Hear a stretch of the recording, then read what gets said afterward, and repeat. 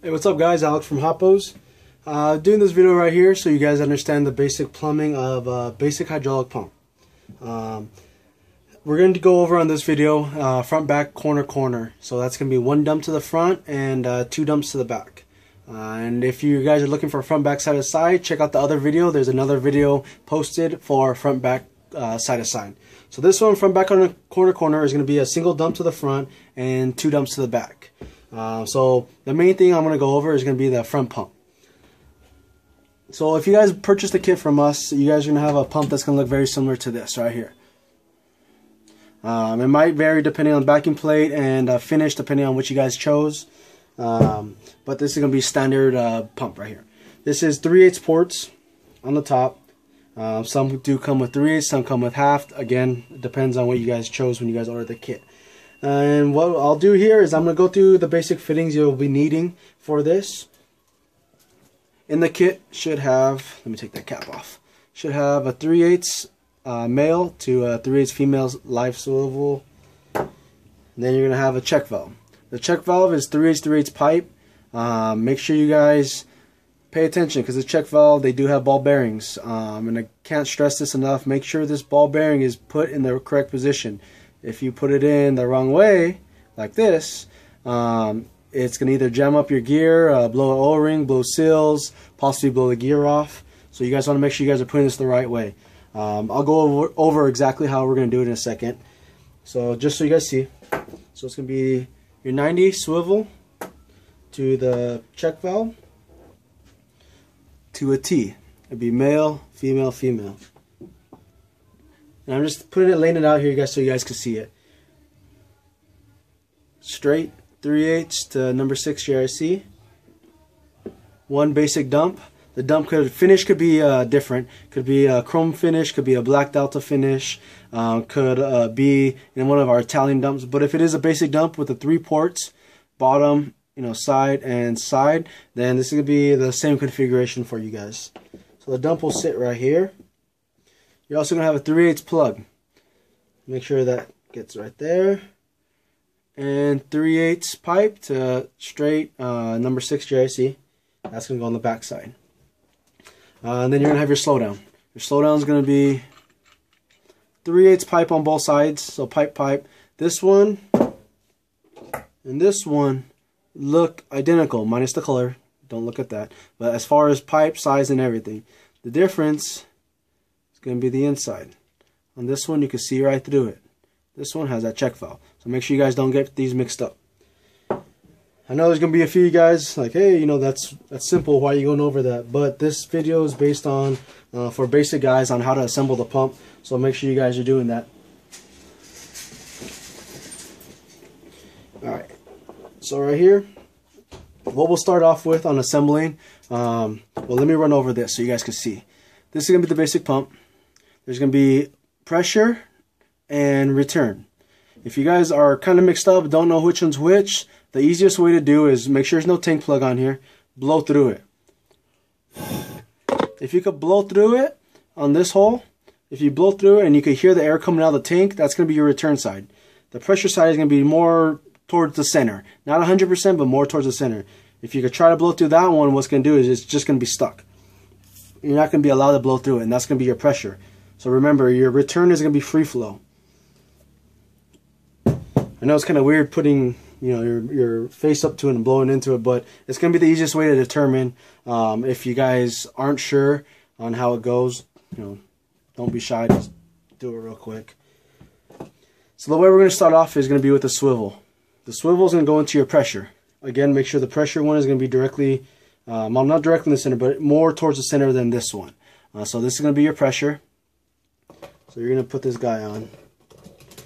And the way I'm doing it is going to be just pretty generic. If you guys want to move it a different way, you know, feel free to do it. Um, I'm just doing it, you know, for video sake, just doing it by hand.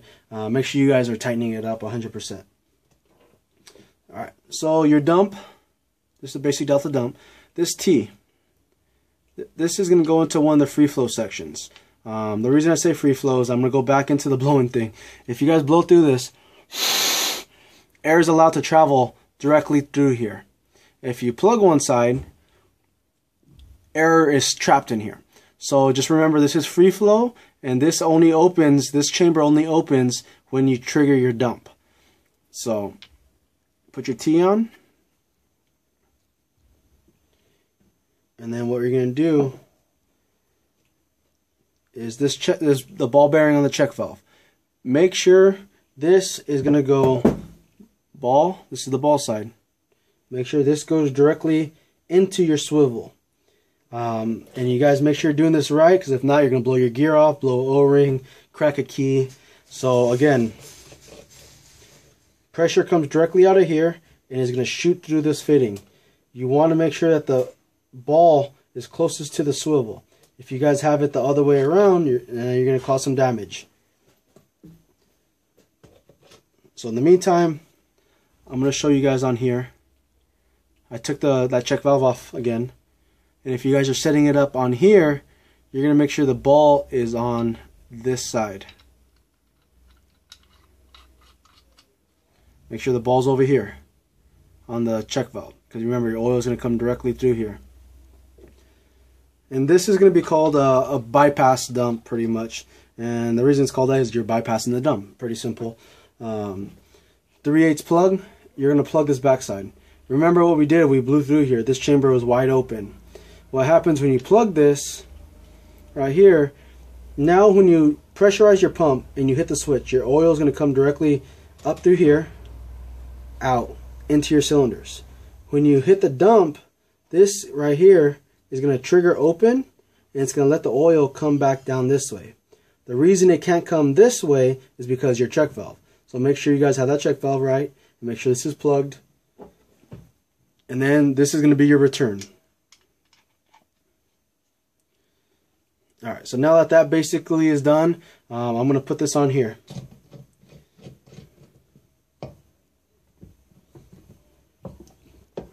Again, I'm just doing this hand tight so you guys can see how it works. All right. So can you see it? Oh, taking out the whole video station. One second, guys.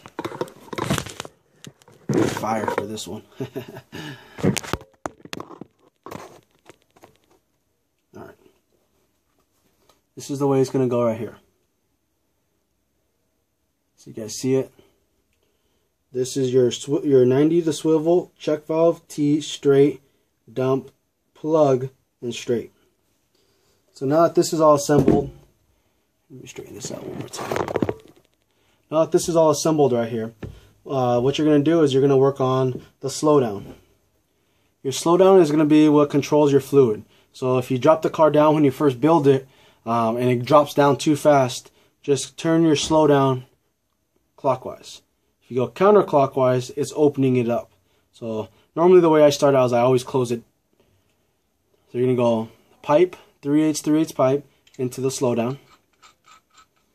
And this guy's going to go right here.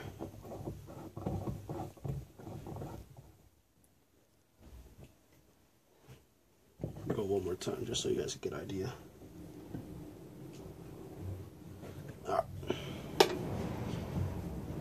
So this is how it's going to look. Slow down and dump.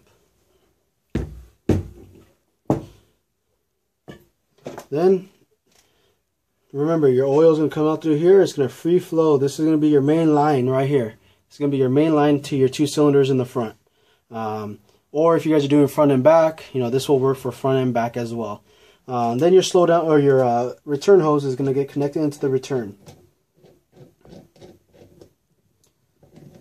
Sorry guys, it keeps moving around because it's not tight, but just so you guys get an idea. Then you're going to get connected into the top hose. So you guys can see it. Pretty simple, not too hard. A lot of guys get intimidated by this section, but it's not that bad, honestly. Alright, so just uh, turn it back how we had it the whole time just so we go over the whole video um, real quick one more time. This is your pressure. You guys can't see. Let me tilt this. This is your pressure fitting. This is your check valve. So your pressure is going to come, when you hit the switch, your motor spins, the gear spins, the motor spins. Um, it's going to pressurize this. Oil is going to come in, shoot through here. and it's going to come out and it's going to go into your uh, your cylinders. The reason the oil doesn't come back is because this check valve.